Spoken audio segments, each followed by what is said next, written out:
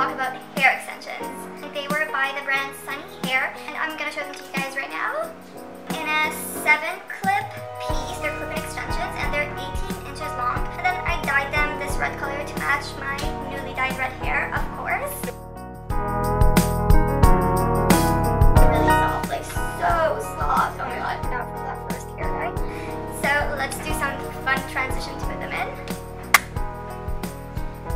Look at this, like who is she? I almost did not recognize myself because I haven't worn hair extensions in so long. But, oh my god, they're beautiful. To get this exact match to my.